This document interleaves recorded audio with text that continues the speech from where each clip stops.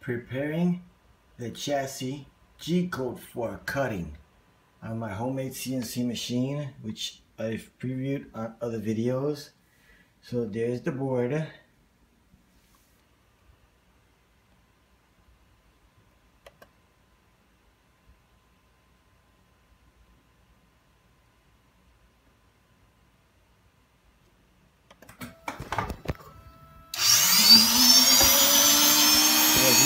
I'll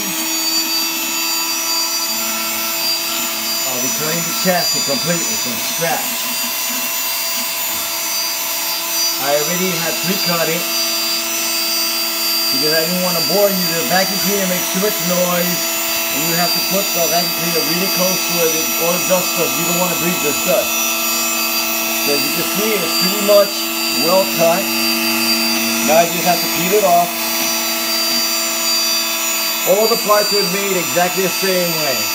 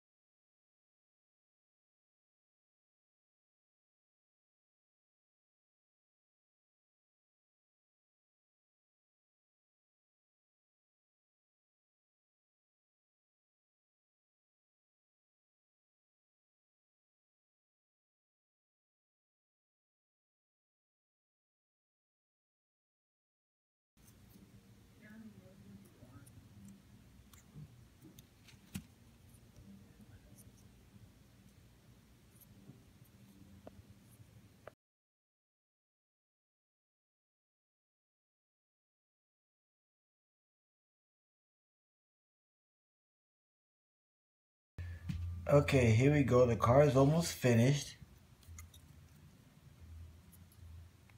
That's my suspension system. I might have to redo it, make it a little shorter for more tension. But it seems to be okay. The front suspension works pretty good too.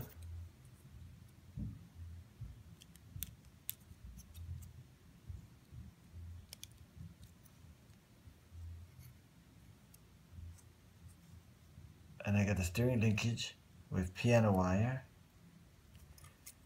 See if we can get a better view at it.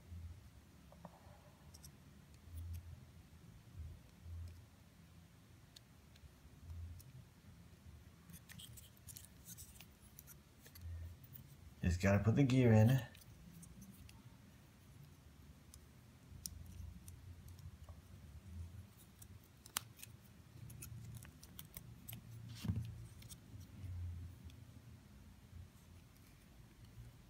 Can see, I added the pins in there. These are spring-loaded pins.